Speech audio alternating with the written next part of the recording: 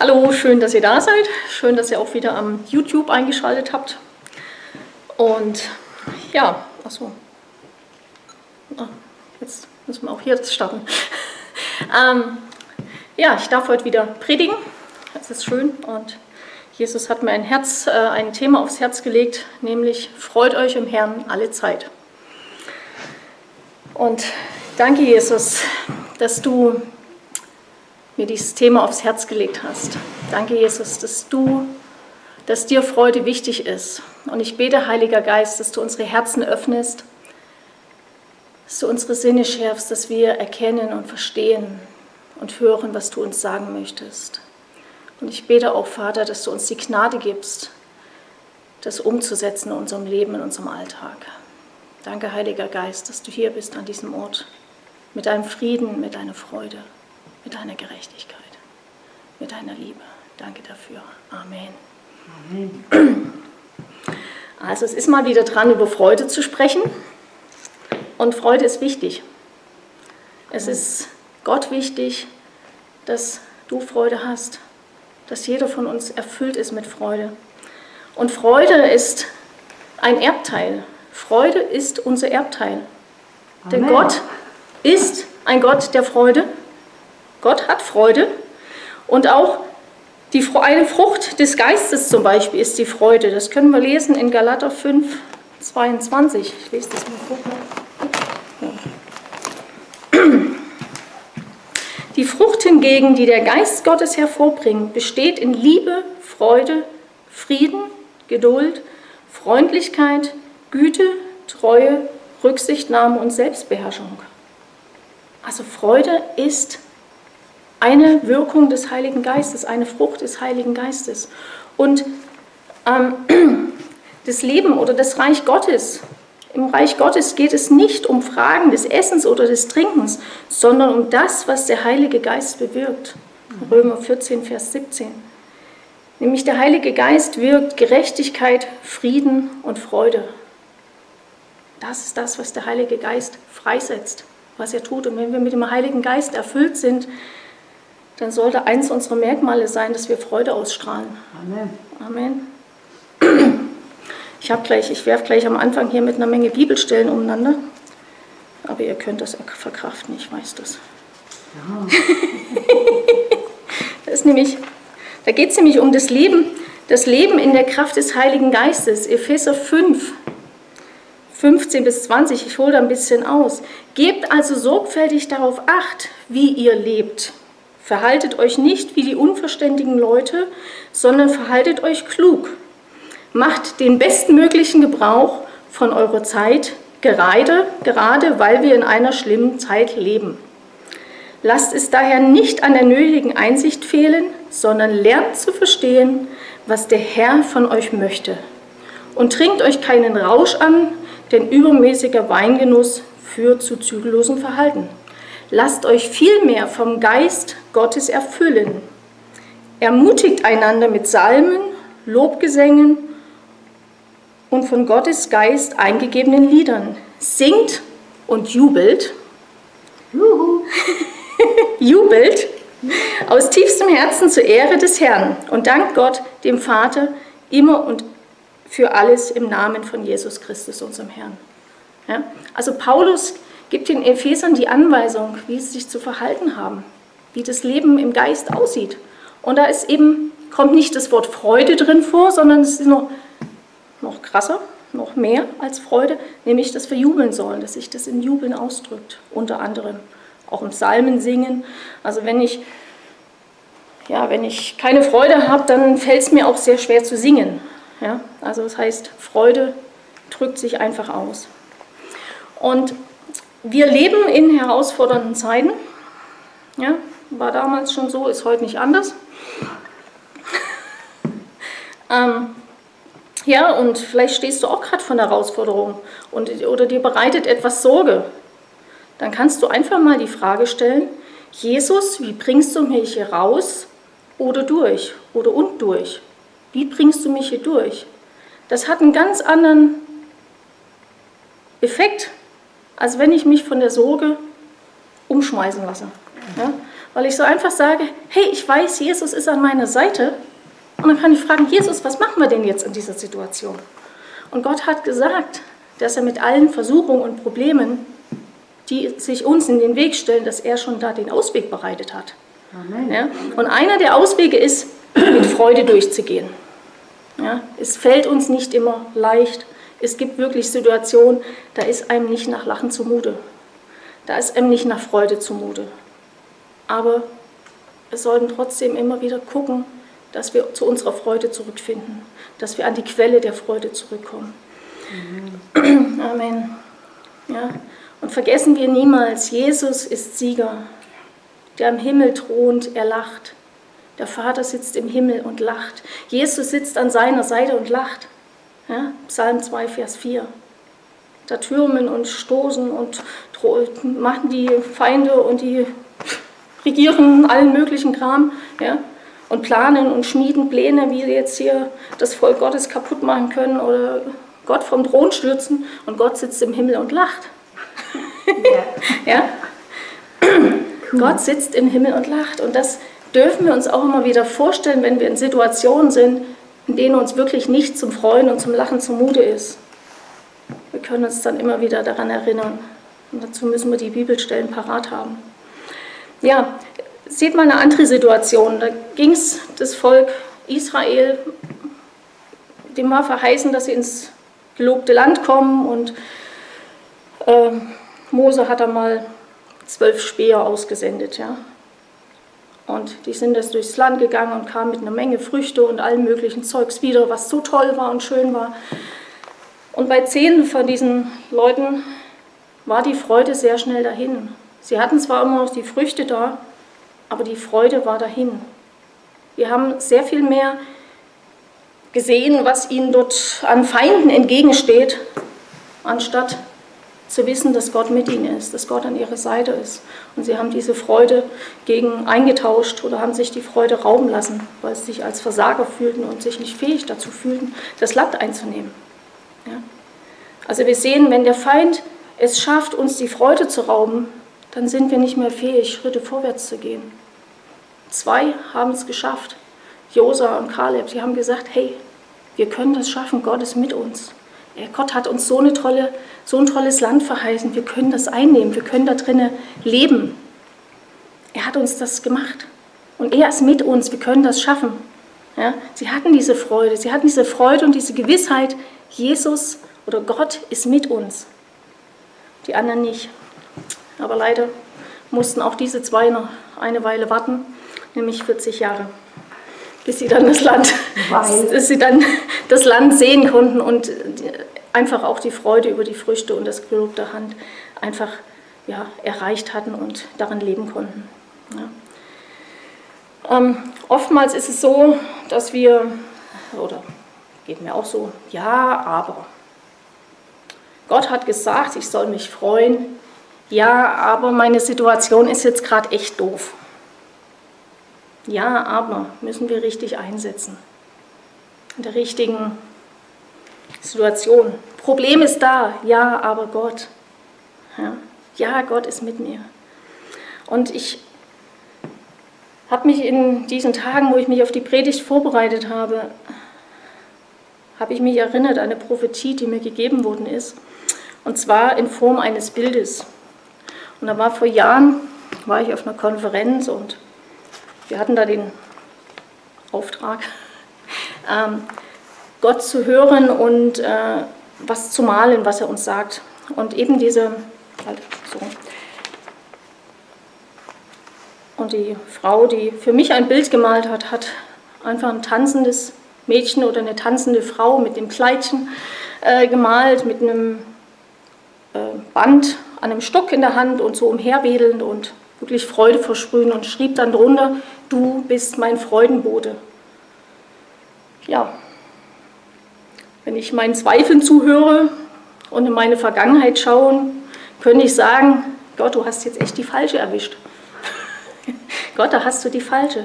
Aber Prophetie, Gott, was Gott sagt, ist, was Gott sagt, das ist das, was er in mir sieht und das hat er rausgerufen. Er hat nicht die Deprimierte gesehen, die Frau, die mit Depressionen überhäuft war oder die ähm, ja, irgendwie oft traurig war und keinen Antrieb hatte und so weiter. Ja. Aber Gott irrt sich nicht. Ich bin Gottes Freudenbote. Punkt und Amen. Und ihr seid es auch. Ihr seid Gottes Freudenbote. Weil Freude ist ansteckend. Amen. Freude ist echt ansteckend. Und heutzutage ja, sieht man die Freude relativ selten bei den Menschen im Gesicht, weil sie A, irgendwie vermummt sind. Ja.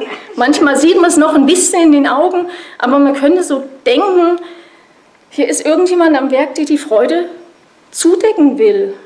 Ja? Aber nee, Freude ist in unserer DNA. Freude ist eines unserer DNA-Bausteine, die in allen Menschen angelegt ist. Und in unseren in Gottes Kindern soll es umso mehr rauskommen. Ja?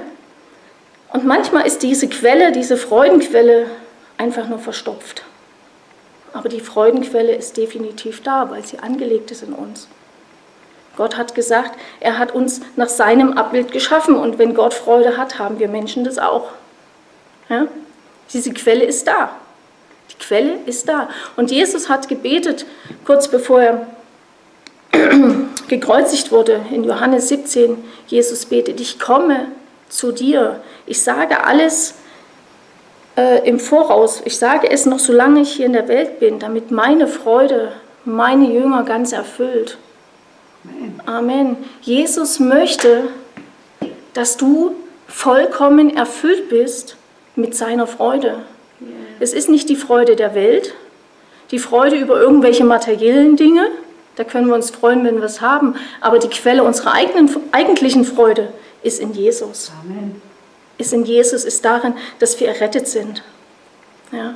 Nehemiah, Vers 8 im Alten Testament. Denn die Freude am Herrn ist unsere Stärke. Ja.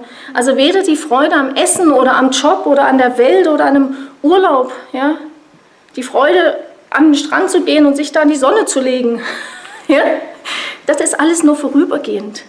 Das ist aber, wenn wir das nicht haben, fehlt uns was. Und dann ist es echt doof. Ja. Wenn jetzt in der Situation Menschen in Kurzarbeit sind und dürfen nicht arbeiten. Manche finden das okay, aber manche, ja, manche haben da echt ein Problem mit, weil denen ein Stück ihrer Identität geklaut wurde. Und dann fehlt ihnen die Freude. Ja. Wenn wir aber unsere Freude am Herrn haben, wenn wir unsere Freude an Jesus haben, daran, dass er uns errettet hat, daran, dass sein Blut uns vergeben hat, dass sein Blut uns reinwäscht, wenn wir unsere Freude daran haben, dass wir versetzt sind in das Reich des Sohnes seiner Liebe, ja, das gibt uns Kraft. Das erfüllt uns. Und das kann uns niemand rauben. Das kann uns keine Situation, in der wir sind, keine Situation, in die wir kommen, kann uns das rauben. Ja, diese Hoffnung auf Ewigkeit, diese Vorfreude auf die Ewigkeit mit Jesus zusammen zu sein, es ist, es ist einfach gigantisch. Ja. Und vielleicht sollten wir das in schwierigen Situationen uns einfach immer wieder vorholen. Immer wieder sagen, hey, Jesus, unseren Blick auf Jesus richten. Gucken, was hat Jesus am Kreuz vollbracht, errungen. Alles, was uns auf der Erde hier passiert, ist alles temporär. Das gibt es irgendwann nicht mehr. Es gibt irgendwann kein Leiden mehr. Es gibt keine Schmerzen mehr. Es gibt keine Krankheiten mehr. Es gibt keine Rückenschmerzen mehr. Halleluja. Es gibt keine Depression mehr. Es gibt keine Geldnot oder sonst irgendwelche Nöte nicht mehr. Es gibt kein Corona mehr, Halleluja. ja, da ist Freude, im Himmel ist Freude im Überfluss.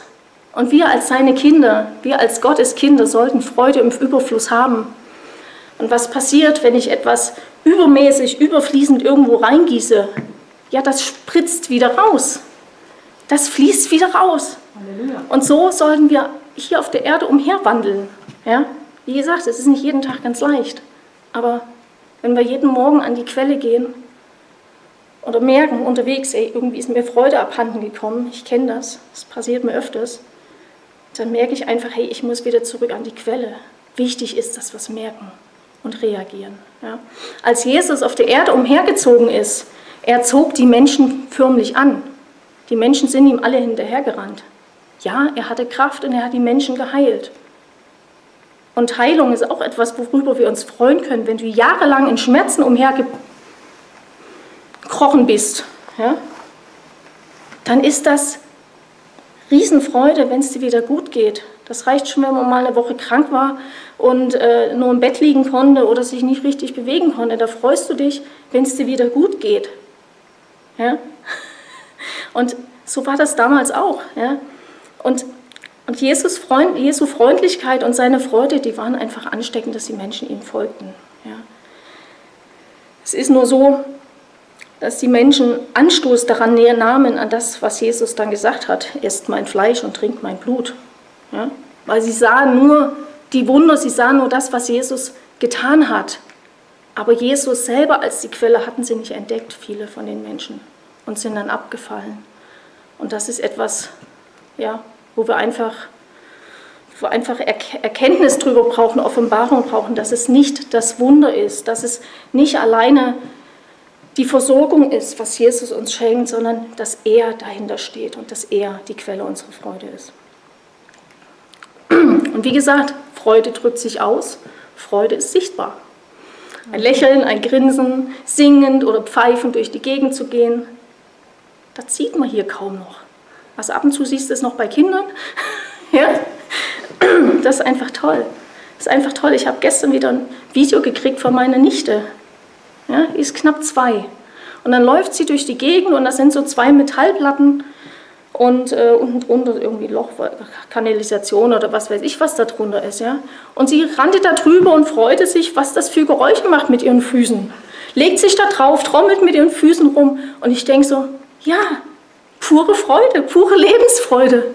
Die sind mit sich und mit dem, was sie haben, einfach zufrieden. Und da habe ich gedacht, ja, deswegen gucke ich mir so gerne Videos von meiner Nichte an. Und es ist einfach immer wieder witzig. Einfach immer wieder witzig, immer wieder schön. Ja. Und Sprüche 17, 22 sagt uns, ein fröhliches Herz dient der Genesung, aber ein niedergeschlagener Geist dürrt das Gebein aus. Ja. Der Feind kommt zu stehlen, zu verderben und zu töten. Jesus aber ist gekommen, um uns Leben in Fülle zu geben. Und Leben in Fülle heißt auch Freude in Fülle. Ja. Der Feind versucht uns das einmal wegzunehmen. ja. Und äh, wir versuchen es wieder zu bewahren und wieder zuzuholen. Ja. Und wie gesagt, ich weiß, dass ich kenne Phasen in meinem Leben, äh, in denen ich niedergeschlagen war. Oder jetzt auch zuletzt, wo es mir einfach nicht gut ging. Da war die Freude, Freude einfach abhanden gekommen zwischendurch das zehrt und das kriegt man dann auch nicht, nicht immer von heute auf morgen komplett zurückerstattet, sondern es ist wieder ein Prozess, in die volle Freude zurückzukommen. Ja. Und ich kann euch nur ermutigen, egal wo ihr steht, egal wie es euch geht, ja, kommt an die Quelle, an die Quelle der Freude, an die Quelle der Kraft, an die Quelle der Liebe. Ja.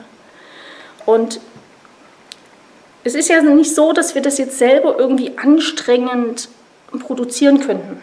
Ja, weil alles, was wir mit Anstrengung tun, macht keine Freude. Nein. Ja, also wenn ich zum Beispiel, wenn mir die Freude abhanden kommen, kommt bei der Arbeit, weil ich gerade irgendwie im Stress bin und es nicht realisiere und mich noch mehr anstrenge, ja, dann kommt die Freude nicht zurück.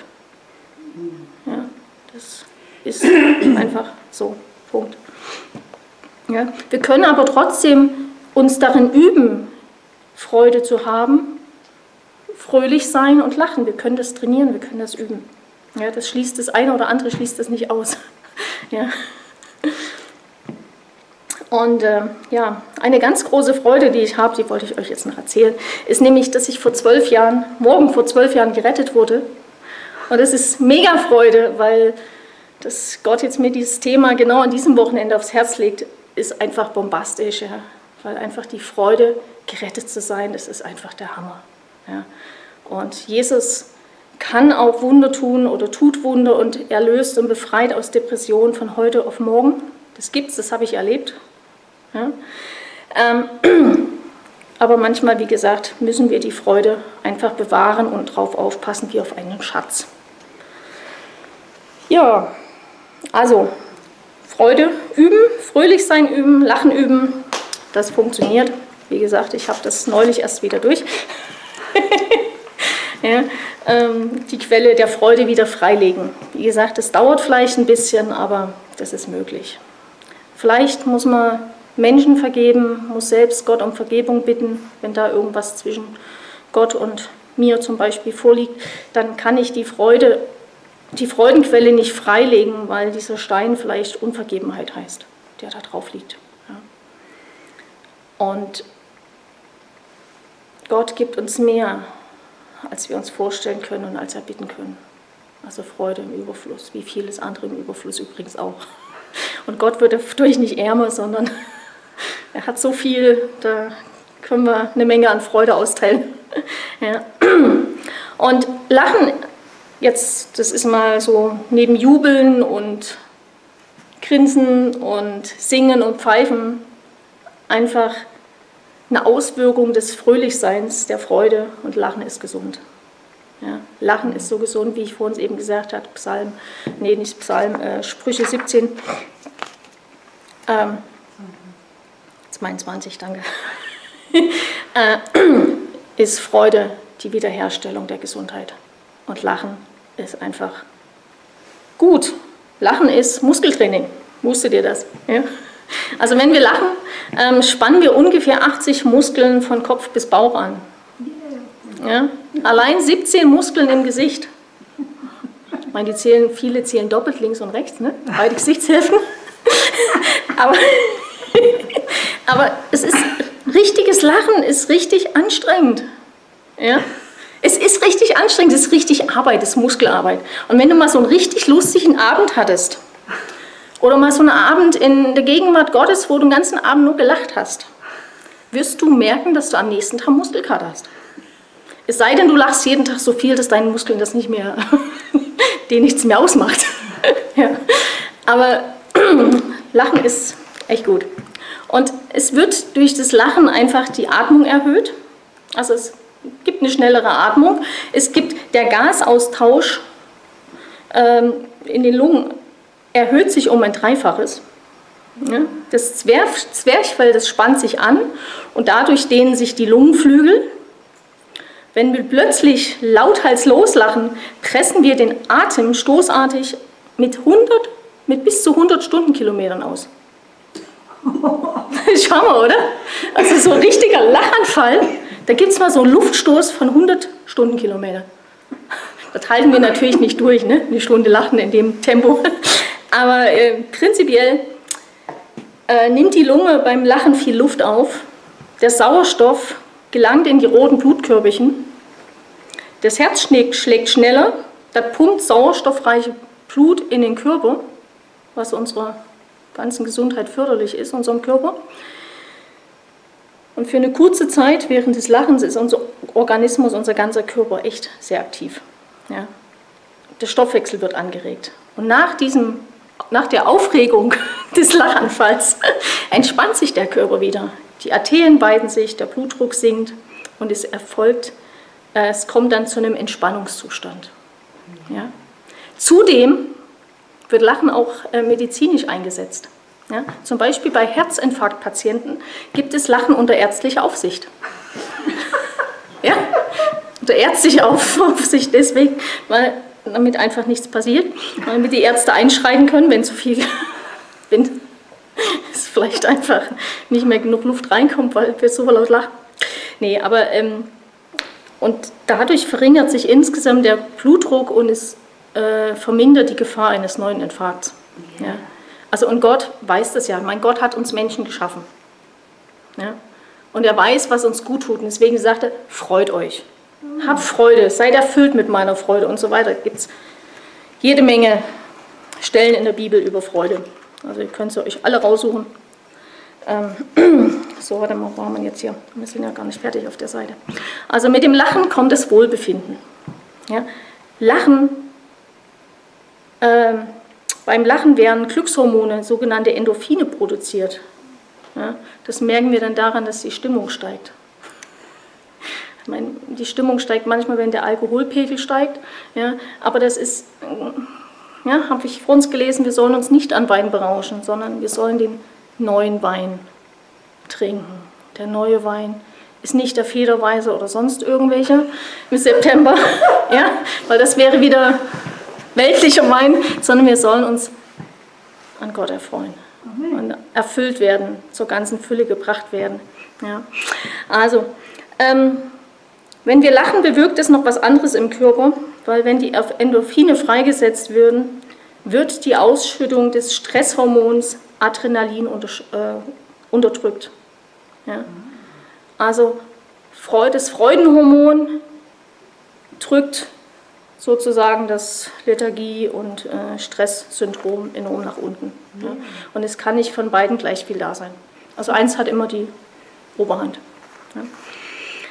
Und ähm, ja, das kann einfach kurzzeitig Veränderungen im Hormonhaushalt, ähm, kann einfach der Unterschied so stark sein, diese Veränderung im Hormonhaushalt kann so stark sein, dass sie auch helfen, Schmerzen zu lindern. Ja, also wenn man mal richtig fett Schmerzen hat, kann man vielleicht einfach auch mal eine Runde lachen. Ja? Und äh, das ist ein ganz natürliches Schmerzmittel. Ja. Heiliger Geist, erinnere mich beim nächsten Mal, wenn es mir nicht gut geht. ja, ich brauche das auch, ich predige das auch für mich. ähm, ja, auch das Immunsystem wird durch das Lachen ange angeregt, ja, ist klar. Die Antikörper, die wir brauchen zum, äh, für unseren Körper zum Schutz von Bakterien und Viren, werden neu gebildet. Lachen hat jede Menge positive Auswirkungen. Abwehrkräfte werden gestärkt, der Stresspegel sinkt und es bringt einen Hormonschub an Glücksgefühlen. So ähnlich, wenn wir verliebt sind, dann ist auch, rennen wir auch so durch die Gegend, den ganzen Tag. Äh, und das ist einfach, das ist einfach gut, da brauchen wir mehr davon. Ja. Lachen regt unser Herz-Kreislauf-System an, unser Zwerchfell, unsere Stimmbänder, die Gesichts- und die Bauchmuskeln. Der ja, eben Sauerstoff kommt in den ganzen Körper rein und wir werden letztendlich nach unserem Lachanfall ordentlich entspannt sein. es gibt ja auch den Ausspruch, übrigens hat das Lachen auch eine Auswirkung in die Beine und die Blasenregion, weil ihr kennt ja vielleicht diesen Ausspruch, ich habe mir vor Lachen fast in die Hosen gepinkt. ja? Also das ist einfach eine körperliche Reaktion durch das Lachen. Ähm, Kann es schon mal zu Inkontinenz kommen. äh, nee, also Spaß beiseite, trainiert euren Beckenboden auch. ähm, ja, und Lachen ist ähnlich wie Sport. 20 Sekunden Lachen hat eine ähnliche Auswirkung wie drei Minuten Rudern. Ah. Also wenn du jetzt äh, 5 mal 20, ähm, genau 100 Sekunden lachst, dann hast du 15 Minuten gerudert. Für alle, die gerne rudern. ja, Gott ist gut. Halleluja. Wir müssen uns nicht mit Sport abmühen, um unseren Körper und unsere Muskeln zu trainieren. Wir können einfach lachen. Ja, wenn der Satan unsere Freude nicht rauben kann, dann kann er uns nicht zurückhalten. Dann kann er nicht zurückhalten, was uns gehört. Dann kann er uns nicht besiegen und dann kann er uns auch nicht in die Irre führen. Ja. Lachen ist gesund. Und wenn du mehr Freude willst, ja, dann umgib dich mit fröhlichen Menschen. Ja? Es ist einfach die sicherste. Also wenn du Freude willst und du triffst dich in der Selbsthilfegruppe zu Depressionen, wird es eher schwierig. Ja? Keine, ich mache mich nicht über die Depressiven lustig. Ne? Ähm, ich weiß, das ist nicht gut, es fühlt sich nicht gut an, aber wir müssen wieder auf die andere Seite und einfach wieder zur Freude kommen. Also dann geh in die Gruppe und steck alle mit Freude an. Hab so einen Ausguss an Freude. ähm, ja, was wir noch machen können, ist natürlich Jesus zu bitten, dass er uns erfüllt mit seiner Freude, den Heiligen Geist einladen, mit seiner Freude, mit seinem Frieden. Ja. Äh, jetzt kann es natürlich sein, dass du sagst, ja weißt du, ich habe ja schon so Freude, aber ich kann es irgendwie nicht zeigen. Also ich bin ja schon eigentlich innerlich fröhlich, aber da sind wir wieder bei dem Punkt vom Anfang her. Ja, wir müssen das richtig einsetzen. Gott hat gesagt, ich bin fröhlich, Fröhlichkeit ist meine DNA, also bin ich fröhlich. Punkt. Ja, wir können also ähm, Bibelstellen proklamieren, für uns selbst in, in, in persönlich annehmen und für uns persönlich aussprechen. Das wird eine Auswirkung haben. Wir können uns auch einfach von Spiegel stellen und eine Runde grinsen. Ja? Dann sind wir nämlich, dann, dann der im Spiegel grinst auch zurück oder die. Das ist auf jeden Fall gut, sind wir schon zwei, die grinsen. Und wenn du dir noch jemand einlädst und stehst zu zweit vorm Spiegel, seid ihr schon zu viert. nee, also, ähm, genau. Ich sage schon, die Freude, die Freude fließt gerade raus. Ich bin gerade. Katzenvideos. Ja, also Tiervideos sind auch immer wieder toll. Ähm, Videos von Kindern angucken, lustige Videos angucken. Was jetzt nicht so geeignet ist, sind so lustige Videos über Schadenfreude. Das eignet sich nicht so doll. Ähm, was auch in, in, ja genau, äh, üben zu lachen. Ja, hahaha. Und so Sachen, ja. Einfach, wenn man morgens mal nicht so richtig aus dem Bett kommt, einfach mal hahaha machen. Eine Minute lang. Also irgendwo kommt dann schon beim Gehirn an, äh, warte mal, die Person ist jetzt fröhlich. Das kommt im Hirn an. Ich meine, es kommt ja auch im Hirn an, wenn ich mit runtergezogenen Mundwinkeln da sitze. Also muss die Gegenwirkung morgens so meine Mundwinkel antackern. Ja? Ich morgens meine Mundwinkel antacke, ja, dann muss das ja auch irgendwie eine Auswirkung haben. Also genauso wie. Man kann sich auch morgens vor den Spiegel stellen, das mache ich ab und zu. Wenn ich so echt gar nicht gut drauf bin und gerade so gepredigt habe wie jetzt über Freude, fällt mir das leichter, weil es ist präsenter, ähm, dass ich dann einfach irgendwelche Faxen mache vom Spiegel und dann fange ich an zu lachen. Ja. Das funktioniert. Müsst ihr mal ausprobieren. Ja? Wir können das auch ausprobieren. Also man, man, darf sich auch selber nicht so ernst nehmen. Ja? Und ähm, man muss natürlich auch bei aller Freude die Kontrolle loslassen. Ja? Ich kann nicht irgendwo krampfhaft was festhalten und freudig sein. Das funktioniert nicht. Ja? Ich muss das loslassen und dann, damit ich auch entspannen kann. Genau. Ich habe auf meinem Handy auch so lustige Tonaufnahmen, wo ich lache oder wo ich mit Freunden zusammen lache. War ich vor ein paar Jahren, vor ein paar Jahren mit Leuten von der Reha, äh, haben wir ein schönes Wochenende gehabt und äh, plötzlich kam so eine Lachsalbung. Also wir haben irgendwas gespielt. Äh, eine von meinen Mitmenschen äh, sagte irgendwas Lustiges und ich habe angefangen zu lachen. Und dann hat sich dieses Gelächter über Minuten in dem Raum ausgebreitet. Und eine die nicht mitgespielt hat, ich saß so ein bisschen abseits, hat aber den Aufnahmeknopf gedrückt am Handy und so haben wir diese Aufnahme vom Lachen. Und äh, ab und zu unterhalten wir uns, dann denken wir mal, ey, das war echt eine super Zeit. Manchmal höre ich mir, wenn es mir nicht gut geht, höre ich mir einfach mal dieses, diese Lachtonaufnahme an. Ja? Es gibt auch im Internet äh, über YouTube von, von, von geistlichen Männern, ja, die so eine, mit so einer Lachsalbung gerade erfahren. Ja? Und die lachen und das, das kann man sich angucken, da muss man mitlachen. Also wenn jemand in eine lachende Gesellschaft kommt und muss nicht mitlachen, dann ist echt alles verloren. Ja? Also irgendwann ist Lachen echt ansteckend. Ja? Mit Kindern lachen sowieso, mit Kindern sich freuen. Und ähm, ja, selbst David tanzte vor Freude vor dem Herrn auf der Straße im Unterhemd im Unterhemd. König David auf der Straße. Ja? Das war, der hat alle Kontrolle losgelassen. Dem war es egal, was die Menschen denken. Dem war es egal, was seine Frau denkt. Er hat es einfach nur gemacht, weil er sich gefreut hat. Da hat er einfach alles, seine ganzen Gewände und alles, was ihn irgendwie gestört hat beim Tanzen, hat er einfach mal weggeschmissen. Ja? Es war einfach zu schwer, da konnte man nicht richtig tanzen und ja? Und wenn wir auf der Straße sind und haben Freude, dann soll es uns total egal sein, was die Menschen um uns herum denken. Wenn wir zum Beispiel im Auto fahren und singen irgendwo mit, singen ein Lied mit oder lachen oder was auch immer. Ne? Wenn da manchmal jemand vorbeifährt, denkst du auch, oh, was hat denn der jetzt gerade gedacht, weiß mir jetzt, was ich jetzt mache? Vollkommen egal. Vollkommen wurscht. Ist doch wurscht, was die anderen denken. Ne? Wenn es jemand ist im Auto, den sehe ich noch, sehe ich gar nicht wieder, Vielleicht habe ich ein bisschen Freude freigesetzt, wäre doch schön. ja. Ich habe ähm, ja, jetzt auch bei mir im Haus äh, eine Witwe, eine ältere Dame, die letztes Jahr einen Mann verloren hat. Ich habe sie heute Morgen wieder gesehen. Die Frau hat, seitdem ich sie jetzt immer mal getroffen hat, ist sie richtig aufgeblüht.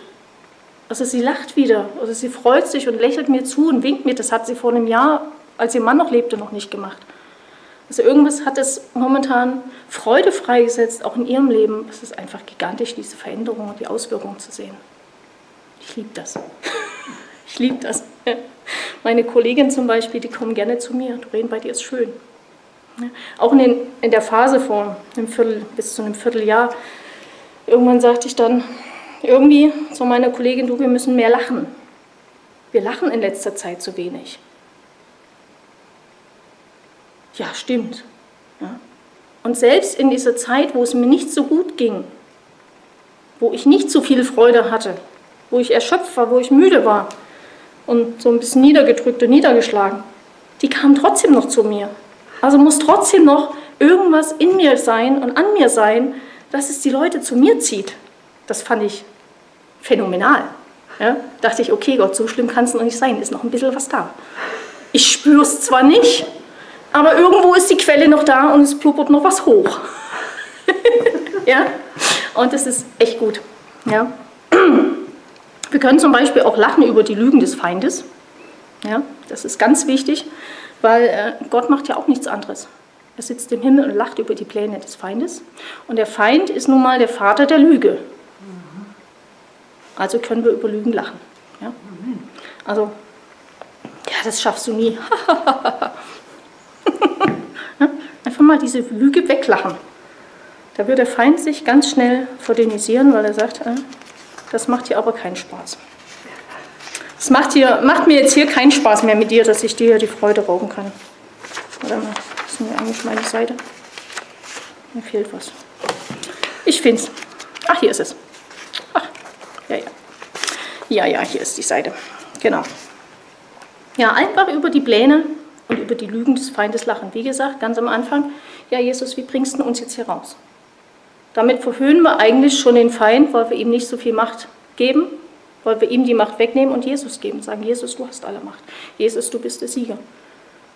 Ja? Das ist cool. Ja. Man kann sich auch, um nochmal zu dem hinzugehen, was kann ich denn machen, um mich vielleicht daran erinnern, dass ich Freude haben sollte oder Freude lachen sollte oder was auch immer. Also ich zum Beispiel habe jetzt in meinem Wohnzimmer wieder meine Bildergalerien neu geordnet. Und da habe ich über die Couch ganz oben ein gelbes Bild mit Freude. Das sind die Buchstaben Freude. Und die tanzen und springen und hüpfen. Ja, auf einem richtig knallgelben Untergrund. Man kann das Bild nicht angucken und schlecht gelaunt bleiben. Das funktioniert einfach nicht, weil diese Buchstaben einfach durch die Gegend hüpfen. Ja?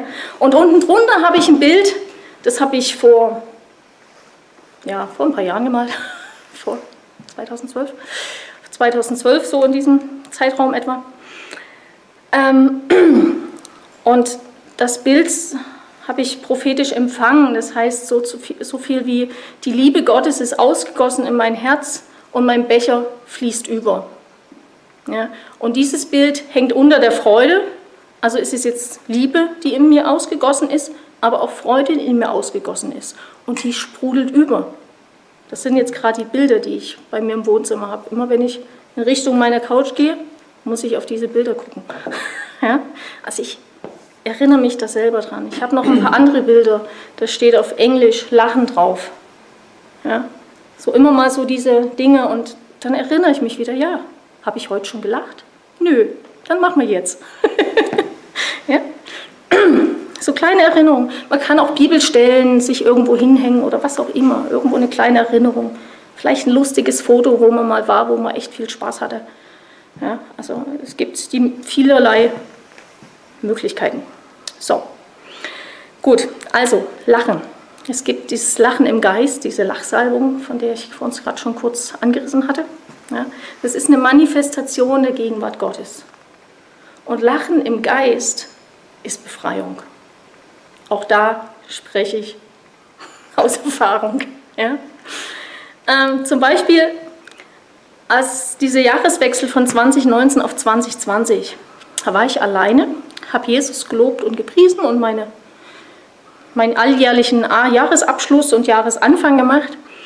Und dann so kurz vor Neujahr hatte ich so eine Lachsalbung empfangen. Also ich habe gelacht, ich lag alleine in meinem Wohnzimmer auf dem Boden und habe mich gekrümmt vor Lachen.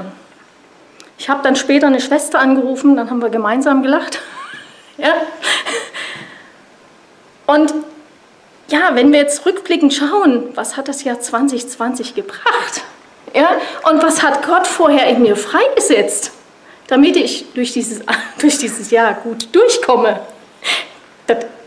Ja, super. Ja? Und am Anfang, wie das losging mit Corona und so weiter, und die Menschen total nervös waren und unruhig waren, und ich war noch voll erfüllt mit der Freude. Ich denke immer nur, wird schon, Gott ist doch hier. Ja? Also es ist, ja, wie gesagt, zwischendurch hat es der Feind dann doch geschafft, mir die Freude zu rauben.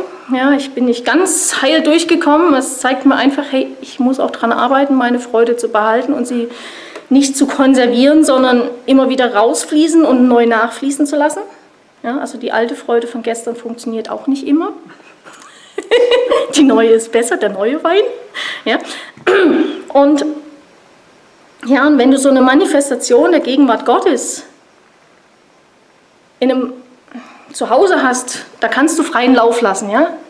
Wenn du aber so eine Manifestation Gottes hast in der Versammlung, ja, wo es häufig so ist, dass die Menschen weinen und äh, das als normal angesehen wird und dann lacht man, dann muss man echt alle Kontrolle loslassen. Ja? Also ich war schon auf solchen Lachsessions. Ähm, es gibt einfach Männer und Frauen Gottes, die setzen das so frei. Da ist eine Freiheit zum Lachen, das ist einfach phänomenal. Ja? Und da passiert einfach ganz viel Freisetzung, ganz viel Befreiung und einfach ja, eine Erneuerung. Ja. Genau, also ich denke da gerne zurück, aber wie gesagt, ich übe mich auch heute im Lachen. ich übe und lächle mit dem ganzen Gesicht und ähm, ja, was auch heutzutage in diesen Zeiten mit Maske und so weiter immer wichtig ist, dass wir einfach laut lachen, weil wie gesagt, wenn wir nur lächeln, fällt das den wenigsten Menschen aus, auf. Ja. Also manche sehen es schon, es ist auch trotzdem ansteckend, es verändert die Atmosphäre, aber noch mehr verändert es die Atmosphäre und holt die Menschen aus ihrem Mimimi raus ja? oder aus, aus den Sorgen, aus den Nöten. Nee, ich rede, mach mich nicht lustig über die Sorgen, Nöte. Ähm, aber es holt die Menschen einfach ganz anders raus. Und das geht einfach über eine andere Ebene. Lachen geht über eine andere Ebene. Man kann mit den Leuten reden, man kann ihnen das Evangelium erzählen, aber wenn man fröhlich ist, dann verbreitet man automatisch das Evangelium. Ja. Also gestern Abend habe ich übrigens dran gedacht, ich möchte heutzutage kein Nachrichtensprecher sein. Ich bin lieber ein Botschafter der frohen, der frohen Nachricht. Ja, weil ich mir dann dachte, ey, diese, diese Nachrichtensprecher reden den ganzen Tag nur von Mord und Totschlag und wie schlimm alles ist. Ja? Also wenn die abends erfrischt nach Hause gehen, weiß ich auch nicht. Ja? Also ich glaube es nicht. Ja? Also wie gesagt, nur mal so, fiel mir gestern drüber ein, dachte, ja, danke Jesus, dass ich ein Botschafter der frohen Nachricht bin. Äh, das ist echt gut. Danke Jesus, dass ich nicht die Nachrichten hier referieren soll, sondern dass ich über Lachen reden darf äh, und einfach über die Freude. Ja. Genau. Freut euch abermals, sage ich, freut euch, sagt Paulus irgendwo in, in den Briefen an die Gemeinden. Ja. Also entweder waren diese Gemeinde, diese Truppe echt eine ernste Truppe oder sie hatten jede Menge Anfechtung. Ja. Und ähm, egal, wie es uns geht, egal, was vor uns ist, wir dürfen uns immer wieder rückbesinnen auf Jesus. Wir dürfen uns immer wieder freuen. Wir dürfen unsere Freude zeigen, singen, lachen, tanzen. Ja? Einfach, wenn uns so ist, mal über die Straße hüpfen. Weil die Freude muss ja irgendwo hin. Ja? Also kleine Kinder, die fangen dann an zu hüpfen und Räder zu schlagen oder irgendwas. Ja? Aber wir Erwachsenen, wir tun uns da echt schwer. ich meine, ich mein, bei mir wäre das auch eher so ein Rollen, aber ja, nimm, nimm, dich selbst nicht so ernst, ja. ich mache heute Witze auf meine Kosten, das ist gut.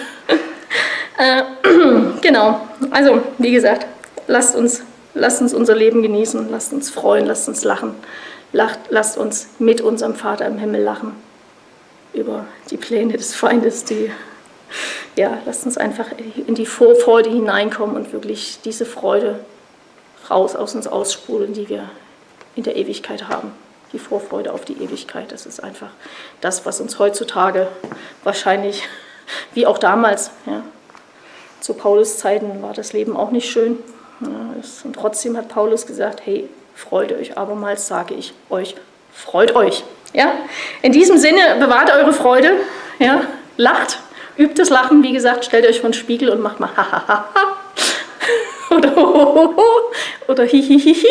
Ja? So lange, bis ihr wirklich richtig ins Lachen kommt. Ja? Also seid gesegnet und äh, wie gesagt, bewahrt eure Freude. Amen.